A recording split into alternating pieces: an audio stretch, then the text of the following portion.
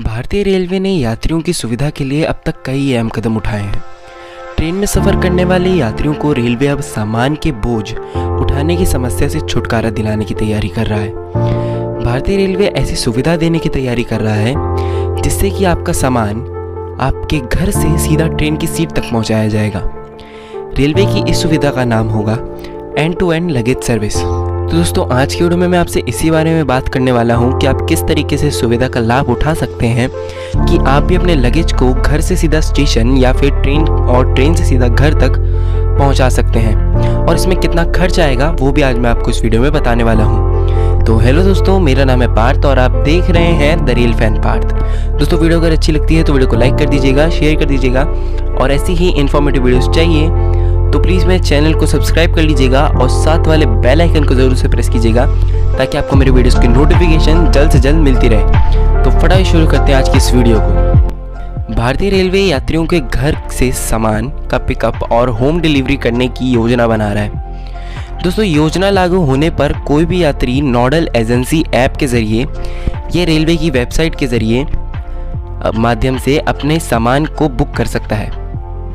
दोस्तों, इसी के बाद घर से स्टेशन तक सामान ले जाने और लाने का तनाव तो कम होगा ही, और कुलियों की चिकचिक भी आपको नहीं झेलनी पड़ेगी। कुलियों के बीच घिरा व्यक्ति बहुत फंसा हुआ महसूस करता है। यात्रियों को इस दर्द को दूर करने के लिए रेलवे ये कदम उठाने जा रहा है। दोस्तों, खबर है कि अहमदाबाद रेलवे स्टेशन से इस योजना की शुरुआत 26 जनवरी को हो चुकी है। दोस्तों ट्रायल सफल रहने पर देश के दूसरे हिस्सों में भी इस योजना को लागू किया जाएगा।